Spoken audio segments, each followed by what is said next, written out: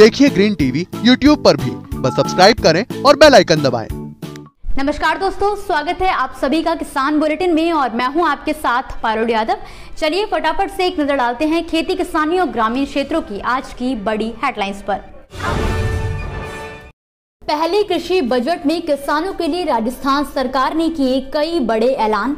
दूध पर अब दो की जगह मिलेगा पाँच रुपए का अनुदान। उत्तर प्रदेश के इस किसान ने उगाया 23 फीट लंबा गन्ना। ट्रेंच विधि से तीन गुना बढ़ाई अपनी आमदनी। अब बिहार के इस ज़िले में होगी चाय की खेती। उद्यान विभाग कर रहा है किसानों की तलाश। राजस्थान के मुख्यमंत्री अशोक गहलोत ने विधानसभा में राजस्थान के लिए वित्त वर्ष 2022 से 23 के लिए बजट पेश करते हुए कई ज़रूरी ऐलान किए हैं। इसी के तहत राजस्थान सरकार द्वारा राज्य का पहला कृषि बजट भी पेश किया गया है, जिसमें किसानों कृषि योजनाओं से जुड़े कई बड़े ऐलान शामिल हैं। बता दें कि अपने पहले कृषि बजट में राज्य सरकार ने दुग्ध उत्पादकों को बड़ी राहत देते हुए दूध पर मिलने वाले अनुदान को दो रुपए से बढ़ाकर पाँच रुपए प्रति लीटर कर दिया है। और इतना ही नहीं, प्रदेश में जल्द ही पाँच हज़ार नए डेयरी बूथ खोलने की भी घोषणा की गई है। जिनके आवंटन में महिलाओं को प्राथमिकता दिए जाने का फैसला किया गया है। वहीं पशुओं को बीमारियों से बचाने के लिए उनके आहार की गुणवत्ता की जाँच सही समय पर हो सके। इसे ध्यान में रखते हुए हर ज़िले में एक लैब भी खोली जाएगी। इसके अलावा कृषि बजट को और खास बनाते हुए सीएम अशोक गहलोत ने ऐलान किया कि राज्य में रियायती दरों पर नए फ़ूड प्रोसेसिंग सेंटर बनाए जाएँगे। वहीं महँगे कृषि यंत्रों के लिए नए कस्टम हायरिंग सेंटर खोलने का भी ऐलान किया गया है।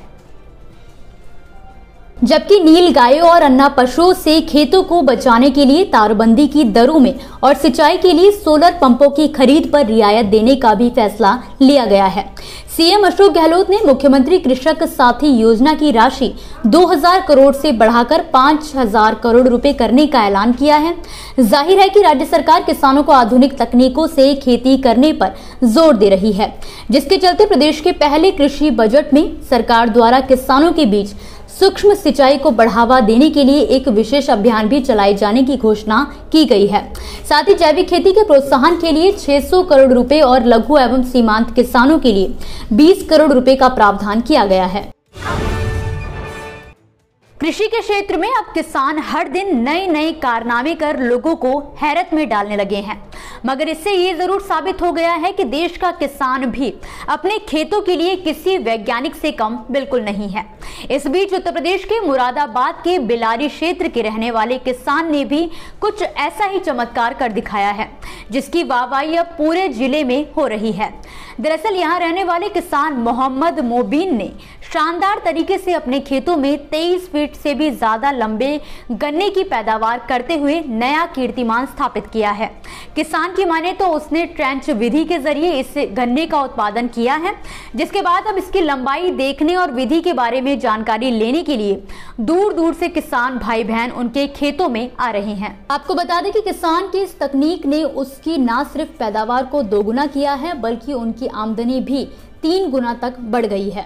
इस गन्ने की लंबाई जहाँ तेईस फीट है तो वहीं इसका वज़न भी किसी सामान्य गन्ने की तुलना में तीन गुना ज़्यादा आंका गया है। ट्रेंच विधि से मिले फ़ायदे के बारे में बताते हुए मोबिन ने कहा कि जहाँ वो पहले एक बीघा खेतों में 40 से 50 क्विंटल गन्ना ही उगा पाते थे तो वहीं अब 100 क्विंटल से ज़्यादा की फ़सल की पैदावार हो रही है।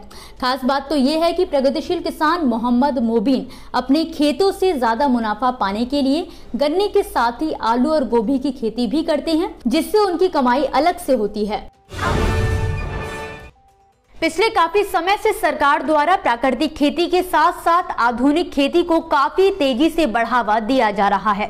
ऐसे में अब फल सब्जियों के साथ ही सरकार ने चाय की खेती पर ज़ोर देने का फैसला किया है। दरअसल बिहार सरकार द्वारा कटिहार ज़िले में चाय की खेती के लिए पाँच हेक्टेयर का लक्ष्य दिया गया है, जिसके चलते ही उद्यान विभाग द्वारा इसकी खेती के लिए इच्छुक किसानों को भी तलाशा जा रहा है। विभाग के पदाधिकारियों की माने तो एक हेक्टेयर में चाय की खेती करने पर चार दशमलव नौ चार लाख की लागत आती है और सरकार द्वारा चाय की खेती करने पर किसानों को प्रति हेक्टेयर पिछहत्तर प्रतिशत अनुदान की राशि देने का प्रावधान रखा गया है। सरकार की योजना के तहत किसानों को दो किश्तों में अनुदान दिया जाएगा और साथ ही इसके लिए उन्हें समय समय पर प्रशिक्षण भी दिया जाएगा ताकि किसानों को समय के साथ साथ नई तकनीकों और तरीकों का भी ज्ञान हासिल हो सके। बता दें कि बंगाल से सटे इस ज़िले के बलरामपुर, आजमनगर और बारसोई क्षेत्र का मौसम चाय की खेती के लिए अनुकूल माना जा रहा है। विशेषज्ञों की माने तो चाय की खेती के लिए ढालू नुमा ज़मीन के साथ ही तापमान 20 से 27 डिग्री होना ज़रूरी है। इसके साथ ही कभी भी 10 डिग्री से कम तापमान नहीं होना चाहिए। तो वहीं मिट्टी में 4.5 से 5.5 पीएच चाय की खेती के लिए काफ़ी फ़ायदेमंद होता है। ऐसे में ज़िले के जो किसान चाय की खेती करने के लिए इच्छुक हैं, वो उद्यान विभाग से सीधे संपर्क करके योजना के बारे में जानकारी हासिल कर सकते हैं। तो दोस्तों, ये थी वो खबरें जिन्हें हमने आप तक विस्तार से पहुँचाया। लेकिन अब बात करेंगे कुछ ऐसी खबरों की जिनके बारे में भी आपके पास जानकारी होना बहुत ज़रूरी है। तो चलिए अब जल्दी से एक नज़र डालते हैं खेती किसानी और ग्रामीण क्षेत्रों की छोटी बड़ी अपडेट्स पर। छत्तीसगढ़ के मुख्यमंत्री भूपेश बघेल द्वारा गौठानों में पशुओं के चारे के लिए किसानों से की गई पैरा दान की अपील का असर अब दिखने लगा है। किसानों ने अब तक पंद्रह लाख सड़सठ हज़ार पाँच सौ सात क्विंटल पैरा दान गौठानों में किया है, जिसकी कीमत लगभग इकतीस करोड़ पैंतीस लाख रुपए है, क्योंकि पैरा की दर दो सौ प्रति क्विंटल है। अधिकारियों से प्राप्त जानकारी के अनुसार बीते लगभग एक सप्ताह से किसानों ने ये पैरा दान किया है। इसमें सबसे ज़्यादा पैरा दान बिलासपुर संभाग के किसानों द्वारा किया गया है। आपको बता दें कि धान की कटाई शुरू होने पर मुख्यमंत्री बघेल ने किसानों से पैरा गौठान को देने की अपील की थी। इस अपील के बाद किसानों ने अपने अपने खेतों से नजदीकी गौठान तक पैरा पहुँचाया है। परिवहन का खर्च भी किसानों ने उठाया है। गौठानों को किसानों द्वारा पैरादान करने का सिलसिला आगे भी चलता रहेगा। बताया जा रहा है कि गौठानों के लिए पैरादान करने की अपील का बड़ा मकसद पराली को जलाने से रोकना भी है। Oh. देश के सबसे लंबे किसान आंदोलन को अब शब्दों के रूप में लोगों तक पहुँचाने के लिए हाल ही में किसान नामा किताब का विमोचन किया गया है। पंजाब के जालंधर में स्थानीय प्रेस क्लब में एक कार्यक्रम का आयोजन किया गया था, जहाँ पर किताब के लेखक और पत्रकार हरकिरत सिंह, संधर, सतनाम, मानक, दीपक बाली और अन्य लोग मौजूद रहे। लेखक हरकिरत संधर ने कहा कि हम लोग काफ़ी समय से विदेशों में रह रहे हैं और हमारा वहाँ कोई इतिहास नहीं है। इस किताब में हमने किसान आंदोलन में शहीद हुए सभी 733 किसानों के नाम अंकित किए हैं। जगदीश सिंह ने कहा कि इस किताब में तस्वीरों के ज़रिए किसानी मोर्चे के विभिन्न पहलुओं को बखूबी बयान किया गया है, जिस पर आने वाली पीढ़ियाँ गर्व महसूस कर सकेंगी। भारतीय किसान संघ के बैनर तले राजस्थान के किसानों ने सरकार पर सुनवाई नहीं करने का आरोप लगाते हुए आज यानी कि तेईस फरवरी से किसान आंदोलन की शुरुआत की है। किसानों का कहना है कि मौसम बारिश और प्रतिकूल हवाओं के चलते राज्य के गुड़ा मालानी धरुमन्नी समेत आसपास के कई इलाकों में फ़सलें जलकर नष्ट हो गईं, जिसको लेकर किसानों ने 15 फरवरी को भारतीय किसान संघ के बैनर तले उपखंड मुख्यालय पर मुख्यमंत्री के नाम ज्ञापन सौंप कर कई मांगे रखी थी। लेकिन प्रशासन और सरकार द्वारा 19 फरवरी तक भी कोई प्रतिक्रिया नहीं दी गई जिसके चलते किसानों में आक्रोश बढ़ गया है और किसानों ने आज से अनिश्चितकालीन किसान महापड़ाव करने का फैसला लिया है।